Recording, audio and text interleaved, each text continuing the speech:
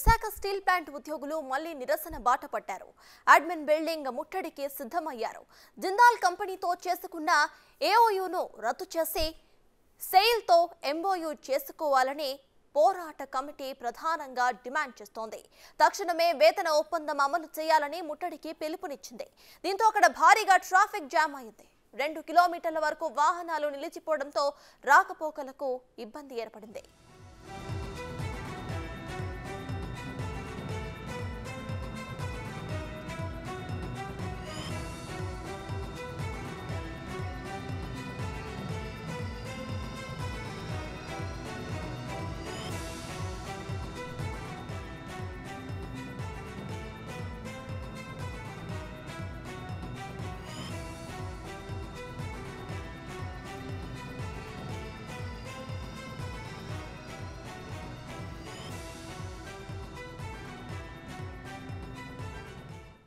Visakha steel plant ఉద్యోగులు మళ్ళీ నిరసన బాట పట్టారు. అడ్మిన్ బిల్డింగ్ ముట్టడికి సిద్ధమయ్యారు. జిందాల్ కంపెనీతో చేసుకున్న ఎంఓయూను రద్దు చేసి సెయిల్తో ఎంఓయూ చేసుకోవాలని పోరాట కమిటీ ప్రధానంగా డిమాండ్ చేస్తోంది. తక్షణమే వేతన ఒప్పందం అమలు చేయాలని ముట్టడికి పిలుపునిచ్చింది. దీంతో అక్కడ భారీగా ట్రాఫిక్ జామ్ అయింది. రెండు కిలోమీటర్ల వరకు వాహనాలు నిలిచిపోవడంతో రాకపోకలకు ఇబ్బందులు ఏర్పడ్డాయి.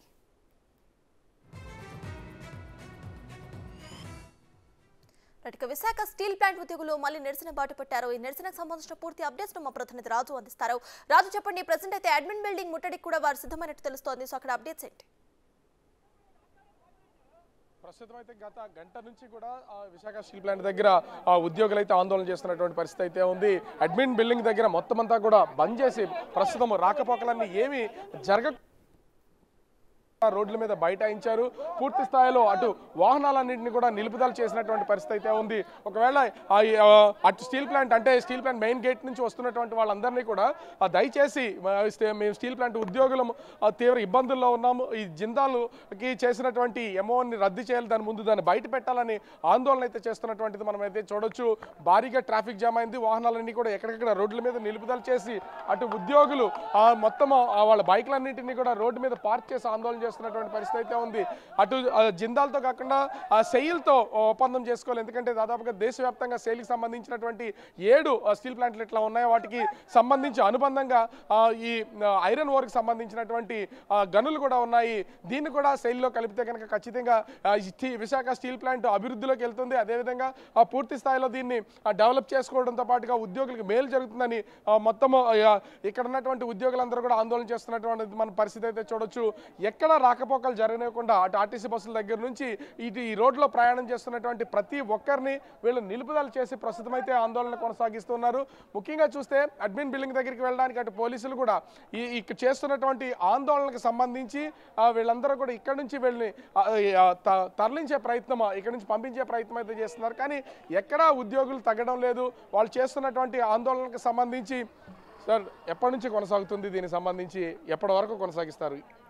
ఇది ఎనిమిది గంటలకు స్టార్ట్ అయిందండి. అది ఎంతవరకు అనేది సీఎండీ వచ్చే వరకు తెలియదు సీఎండీ గారు వచ్చి మాకు ఏమంటే అనేది ఎందుకు చేశారు ఈ- అమైన్మెంట్ మా అసలు ఎవరికి తెలియకుండా ఈ- ఈ చీకటి ఒప్పందం ఏంటనేది సీఎండీ గారు చెప్పాలి.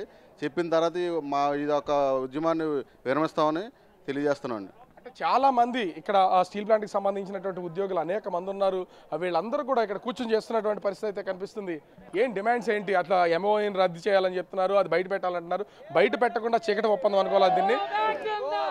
విశాఖపట్నం స్టీల్ ప్లాంట్ని ఇక్కడ ఉన్నటువంటి మేనేజ్మెంట్ నిధులు ఇవ్వకుండా రా మెటీరియల్ ఇవ్వకుండా దీన్ని ప్రతి క్షణం కూడా నిర్వీర్యం చేసి నష్టాల్లో పెట్టారు. నష్టాలు పెట్టింది ఈ మేనేజ్మెంట్ ఇక్కడ ఆఫీసర్లు కానీ కార్మికులు కానీ కాదు. కాకపోతే మా నాయకత్వం అందరూ కూడా ట్రేడ్ యూనియన్ నాయకులందరూ సీఎంతో మాట్లాడి జిందాల జిందాల ఒప్పందాన్ని రద్దు చేయండి. జిందాల ఎట్టి పరిస్థితులు మేము రానివ్వం. మాకు శైలిలో మీరు చేయండి.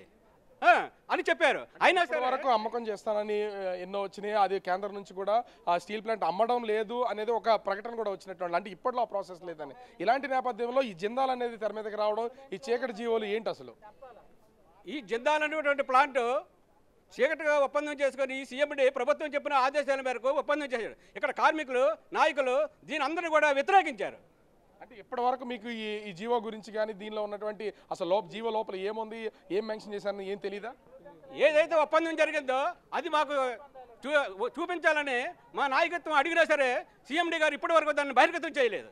అంటే ఇంత ఇంత జరుగుతున్నా కూడా అటు సీఎండి కానీ లేకపోతే ఆ స్టీల్ ప్లాంట్కి సంబంధించినటువంటి ఉంద ఉన్నతాధికారులు కానీ ఎందుకు సమాధానం చెప్పట్లే? ఇది పూర్తిగా కేంద్ర ప్రభుత్వం ఆడుతున్న కుట్ర. వాళ్ళ నాటకంలో భాగంగా సీఎండీ గారు ఇక్కడ వ్యవహరిస్తున్నారు. ఎటువంటి విషయం ఇక్కడ కార్మికులతో కానీ యూనియన్ నాయకులతో కానీ చర్చించలేదు. ఈ ఒప్పందానికి మేము పూర్తిగా వ్యతిరేకం. మీరు నిజంగా బిఎఫ్ త్రీని నడపాలి అని అనుకుంటే ఏదైతే మీరు ఫోర్జుడ్ వీల్ ప్లాంట్ అక్కడ అమ్మారో దాని మీద రెండు వేల కోట్లు వస్తున్నాయి. ఏ రకంగా అయినా సరే మీకు డబ్బులు అన్ని రకాలుగా ఉన్నాయి. కానీ మీరు వాటన్నిటిని దాచిపెట్టి ఎట్టి పరిస్థితుల్లోనూ ప్రైవేట్ సంస్థల్ని లోపలికి రప్పించాలని ఒక కుట్రతోటి జందాలతో మీరు చీకటి ఒప్పందం చేసుకున్నారు. దీనికి మొత్తం కార్మిక వర్గం మొత్తం వ్యతిరేకంగా ఉంది. ఎందుకు శైలిలో మెర్చ్ చేయమంటే చేయట్లేదు? శైలిలో మెర్చ్ చేస్తే మీకు చాలా వరకు ఈ బొగ్గ ఈ ఆ, iron ore company raw material కూడా వచ్చే అవకాశం కూడా ఉంటుంది కదా. ఎందుకు మెర్చ్ చేయట్లేదు? ఈ రోజు ఏదైతే మాకు పూర్తిగా ఐరన్ ఓర్ సమస్య ఉందో ఇదంతా అండర్ స్టీల్ మినిస్ట్రీ అండర్లో ఉంది. స్టీల్ మినిస్ట్రీ అండర్లో సెయిల్ ఉంది. స్టీల్ మినిస్ట్రీ అండర్లో ఎన్ఎండిసి ఉంది. స్టీల్ మినిస్ట్రీ అండర్లో ఆర్ఐఎన్ఎల్ ఉంది. స్టీల్ మినిస్ట్రీ ఒక్క మాట సెయిల్కి చెప్తే వాళ్ళు మాకు గన్లు ఇస్తారు. ఎన్ఎండిసికి చెప్తే గన్లు ఇస్తారు. కోల్ ఇండియాకి చెప్తే మాకు కోల్ వస్తుంది. కానీ ఇటువంటివి ఏవి తీసుకోకుండా ఎట్టి పరిస్థితుల్లోనూ దీన్ని నిర్వీర్యం చేయాలి. ఇక్కడ ఉన్న నిర్వాసితులకు ఎటువంటి న్యాయం చేయకూడదని ఒక ఏకైక ఉద్దేశంతో వాళ్ళు అనుకునేది అయితే మూసేస్తాం లేదా అమ్మేస్తాం అని ఒకే ఒక నినాదంతో ప్రైవేట్ పార్టీ వాళ్ళని లోపలికి రప్పిస్తున్నారు ఏదైతే జందాలతో ఒప్పందం చేసుకున్నారో జందాల వాడికి బోల్డ్ డిఫాల్ట్స్ ఉన్నాయి. వేల కోట్ల అప్పు ఉంది. అలాంటి దాన్ని ప్రభుత్వ రంగంలోకి తీసుకొచ్చి ప్రభుత్వ రంగాలని ముంచాలి అనే ఒక కుట్రతో ప్రభుత్వం మరియు సీఎండీ వ్యవహరిస్తుందండి. అంటే ఒకటి ఎప్పటి నుంచో కూడా ఈ అమ్మకాలు కొనుగోలు అనేది ఈ ఈ ప్రస్తావన జరుగుతూనే ఉంది. తరచూ ఆందోళన చేస్తున్నా కూడా ఎందుకు దీనిలో ఉన్నటువంటి ఈ జీవోల్ని బయట పెట్టకుండా ఆపుతున్నారు అసలు వీళ్ళు? ఇది పెద్ద పెద్ద కుట్ర రూపంలో జరుగుతూ ఉందండి. ఎందుకంటే ఈ విశాఖపట్నం స్టీల్ ప్లాంట్ అనేది అనేక మంది పోరాటాలతో వచ్చిన కర్మాగారం. దీన్ని ఇప్పటి వరకు కార్మిక వర్గమే దీన్ని ప్రొటెక్షన్ చేసుకుంటూ వస్తుంది. రాజకీయంగా ఇక్కడ ఉన్న ముఖ్యమంత్రి కానీ లేకపోతే ప్రైవేటు వేరే ప్రతిపక్షాలు కానీ దీన్ని ప్రొటెక్షన్ చేయడానికి ముందుకు రావట్లేదు. కేవలం కార్మిక వర్గం ఇక్కడ ఉన్న నిర్వాసితులు మాత్రమే దీన్ని కాపాడుకోవాలని చెప్పి కృతజ్ఞతతో పోట్లాడుతూ ఉన్నాం. ఈ రోజున ఇరవై తొమ్మిది కంపెనీలు కంపెనీలు ఎంఓయూ ఇచ్చినప్పటికీ ఎంఓయూకి మద్దతు తెలియజేస్తున్నప్పటికీ కూడా అనేక మంది అనేక రకాలుగా దీన్ని కా- ఆదుకుంటామని చెప్పేసి ముందుకు వస్తున్నప్పటికి కూడా ఈ సో మొత్తానికి మనం అయితే చూడొచ్చు ఇక్కడ ఉన్నటువంటి ఈ ఈ ఆందోళనకు సంబంధించి కూడా మనం చూస్తున్నాం కదా అడ్మిన్ బిల్డింగ్ కనిపిస్తున్నటువంటిదే. అడ్మిన్ బిల్డింగ్ స్టీల్ ప్లాంట్కి సంబంధించినటువంటి అడ్మిన్ బిల్డింగ్ అడ్మిన్ బిల్డింగ్ సంబంధించి రాకపోకలు ఏమీ జరగకుండా కూడా అటు ఎంప్లాయీస్ కానీ అదేవిధంగా అటు ప్రయాణికులు అంటే లోపల కొన్ని విలేజెస్ ఉన్నాయి వాటికి వెళ్ళాలన్నా కూడా రాకపోకలకి ఆర్టీసీ బస్సుల్లోనూ వెహికల్స్లోనూ వెళ్తూ ఉంటారు. వెళ్తున్నటువంటి వాటి అన్నింటినీ కూడా ప్రస్తుతం అయితే రోడ్డుని బైఠాయించి వీళ్ళందరూ కూడా నిలుపుదల చేసినటువంటి పరిస్థితి అయితే కనిపిస్తుంది. సో మొత్తంగా చూస్తే ఈ స్టీల్ ప్లాంట్కి సంబంధించినటువంటి ఉద్యోగులు కార్మికులు తమ డిమాండ్స్ నెరవేరే వరకు కూడా ఈ ఆందోళన విరమించే లేదు అని చెప్తున్నటువంటి పరిస్థితి అయితే ఉంది. గత అంటే ఎనిమిదిన్నర గంటల నుంచి ఆ ఎనిమిది గంట గంటన్నర గంటలకి స్టార్ట్ అయినటువంటి ఆందోళన ప్రస్తుతం అయితే కొనసాగుతున్నటువంటి పరిస్థితి అయితే ఉంది. సీఎండీ వాళ్ళు రావాలి సమాధానం చెప్పాలి. జీవోలో ఏముందో బహిర్గతం చేసిన తర్వాత మేము ఎక్కడి నుంచి వెళ్తామని చెప్తున్నటువంటి పరిస్థితి ప్రస్తుతం ఇక్కడ కనిపిస్తుంది సత్తాజ్. Right thank you Raju